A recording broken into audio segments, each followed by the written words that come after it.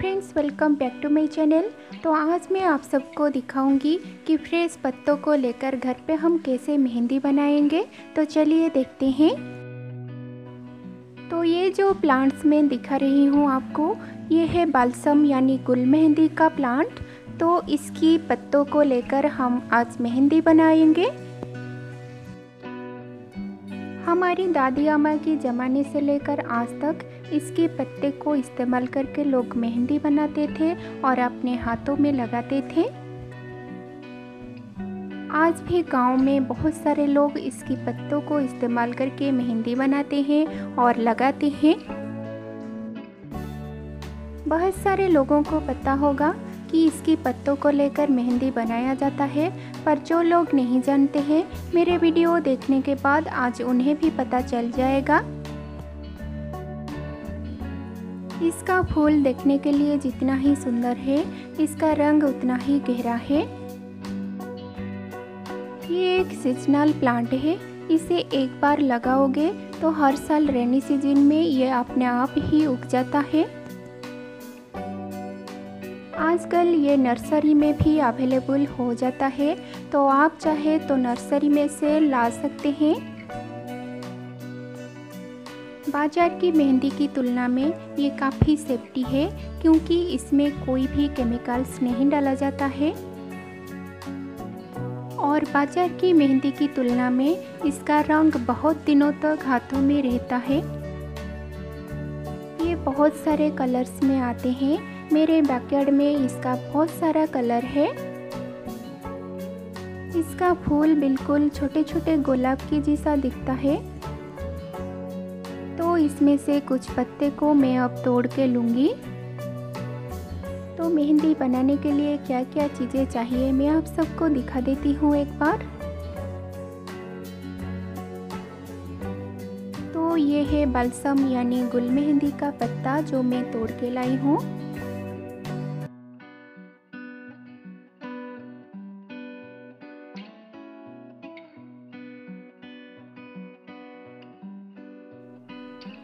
ये है पान का डंठल।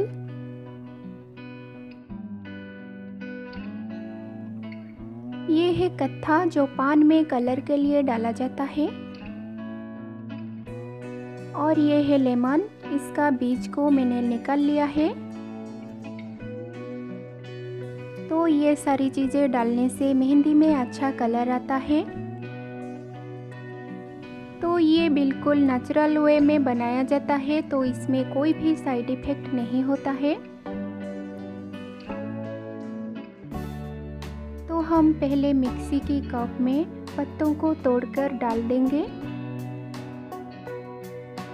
गाँव में लोग इसे सिल्वर टे में पीसकर लगाते हैं।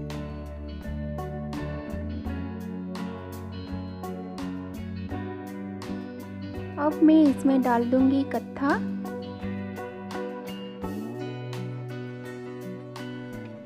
पान की डंठल को इस तरह से तोड़ के हमें डालना है।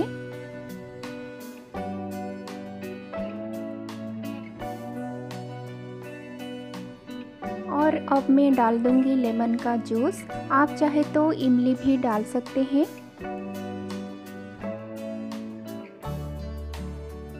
इसमें हम पानी बिल्कुल भी ऐड नहीं करेंगे।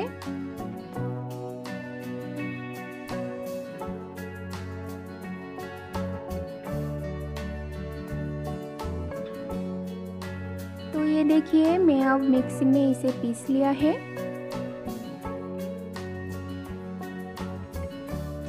तो मेहंदी हमारी बनकर रेडी हो गई है। तो मैं आप सबको लगाकर दिखा देती हूँ।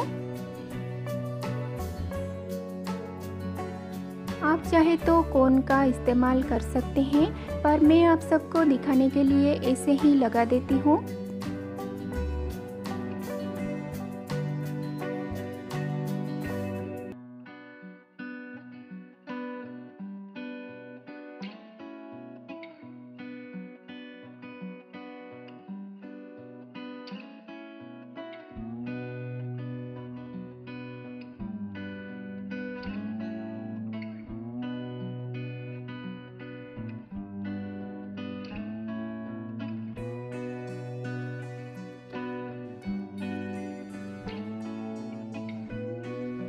देखिए, मेहंदी को लगाते टाइम मेरे हाथों में कैसे कलर आ गया है?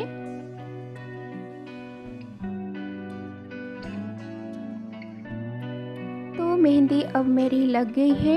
आप चाहे जितना टाइम इसे रख सकते हैं, जितना टाइम रखेंगे कलर उतना ही गहरा आएगा। तो मैं आप सबको दिखाने के लिए थोड़ी टाइम के बाद इसे निकाल देती हूँ। पर आप इसे बहुत टाइम तक रखेंगे। तो ये देखिए, इतने कम समय में इतना अच्छा कलर आया है तो आप इसे और ज़्यादा समय रखेंगे तो और भी अच्छा कलर आएगा।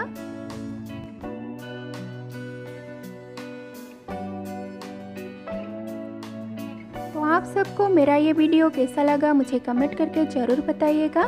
मेरे चैनल को लाइक सब्सक्राइब शेयर करना मत भूलिएगा। बेल आइकन को भी ज़रूर दबाइएगा ताकि सारी नोटिफिकेशन आप सबके पास पहुँच सके। तो चलिए मिलते हैं मेरे नेक्स्ट वीडियो पे। तब तक के लिए थैंक यू बाय बाय